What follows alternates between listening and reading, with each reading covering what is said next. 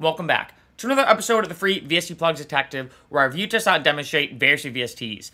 For today, we're looking at the Minimal Clock by Minimal Instruments. I honestly don't even know how to rate this one. It's as it sounds, it's a clock effect or sound plugin. You know, I don't know. I'm gonna give this one.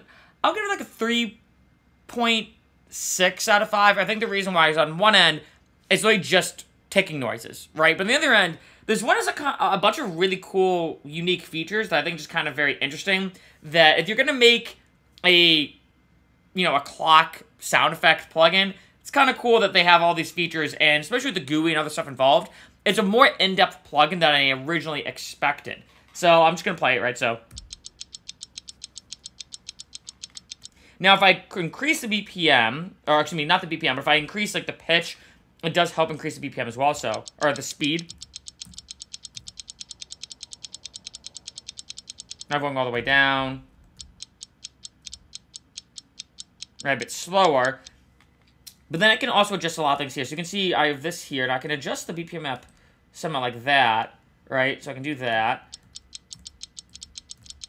If I want to go up and down just to see. Now, on the clock, I can adjust a few different things here. You notice I have reverb, volume, and basically a filter. What's cool about this is that these dials on the side actually adjust it. So if I have this.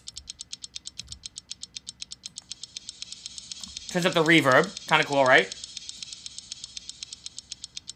And then this adjusts the volume, so...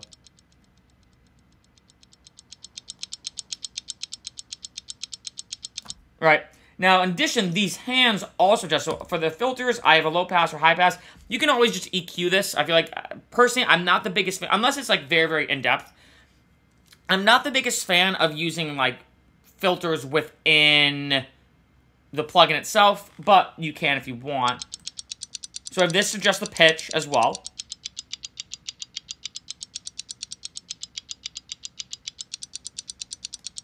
And then for the filters now, it's this one. Wait, no. Uh, I think it's this. How do we... Yeah, as you can see.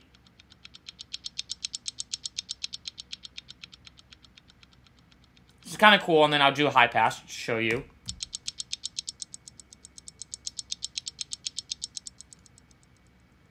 And then, so for the other hand now, this will actually, I'll just turn this off. So, save that. This actually adjusts now the panning, so basically left or right. Again, I'd probably do this with an Ableton using this right here, just doing something like along, along those lines.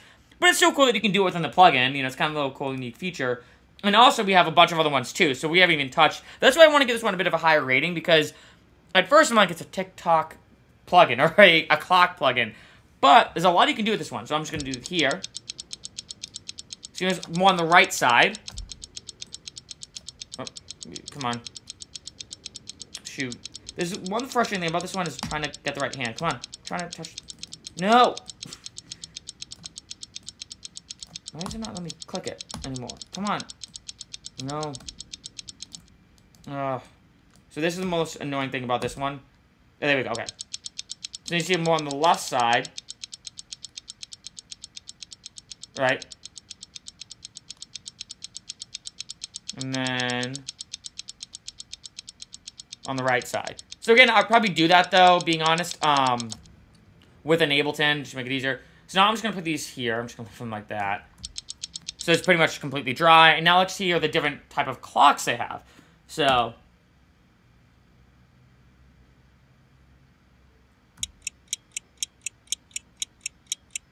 Kind of cool, right? I'm just going to try different pitches and whatnot. Or it's going to be different uh, notes, so just speed it up. Do a wall clock.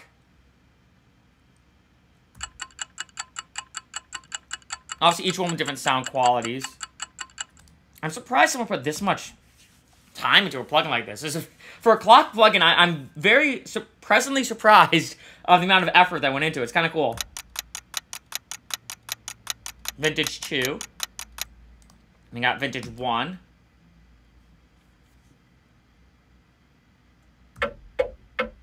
Ooh, I like that one actually a lot.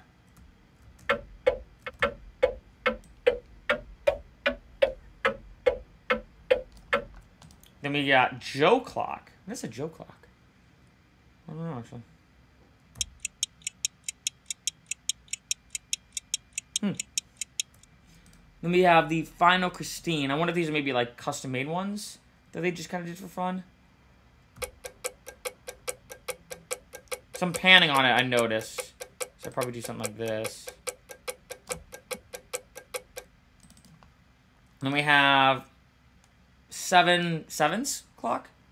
So maybe these are like some of the creators, I'm assuming, maybe you made this.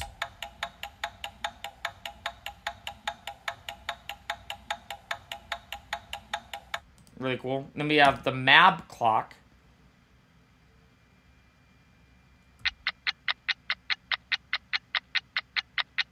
Almost feels like there's like already a filter on it a little bit, like filtering out the high end. And then last but not least, we have the Tic Tac Toe.